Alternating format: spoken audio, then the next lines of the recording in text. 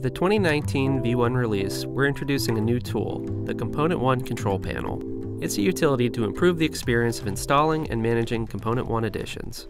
Upon launching this tool, you'll be prompted to log into our system so that you can easily access our updates and create runtime licenses for your .NET Core, UWP, or Xamarin projects.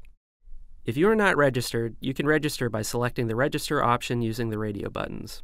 If you would rather continue without logging in, you can skip this option by logging in as an anonymous user. Once the installer has downloaded the required information from the server, you can choose to install any of the editions from the Editions submenu of the Product menu.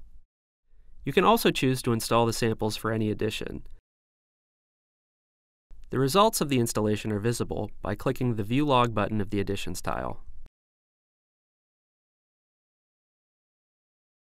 If an edition is installed, you can choose to repair it, install a different version, or uninstall it.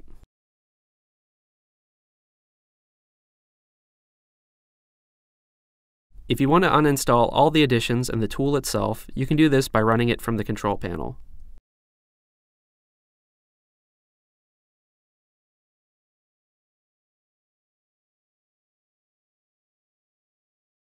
You can download or update to a pre-release version of an installed edition using the C1 Live submenu under the Products menu of the tool. You can also view the change logs and readmes associated with the pre-release version using this menu.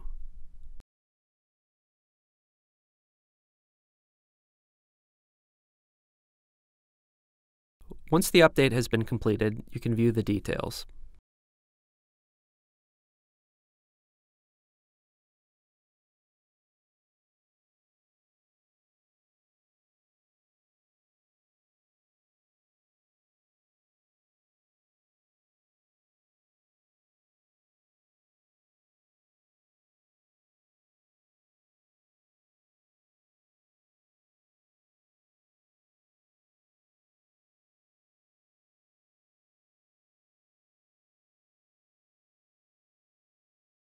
You can download and run different apps provided by ComponentOne by going to the Apps submenu under the Products menu of the tool.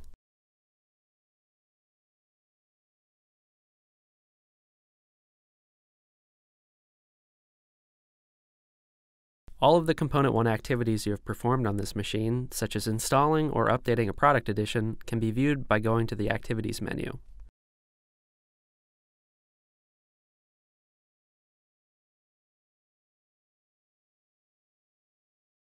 Licenses can be activated or deactivated from the License menu.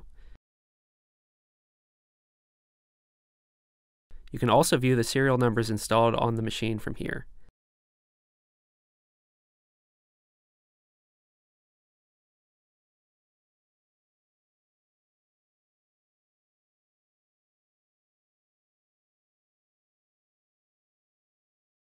The available support options can be viewed by clicking on the Support menu.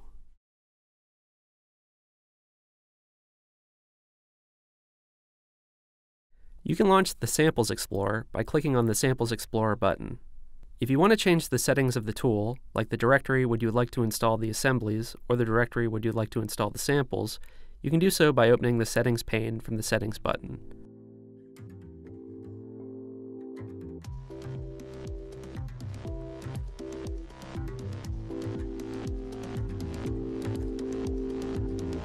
Visit grapecity.com.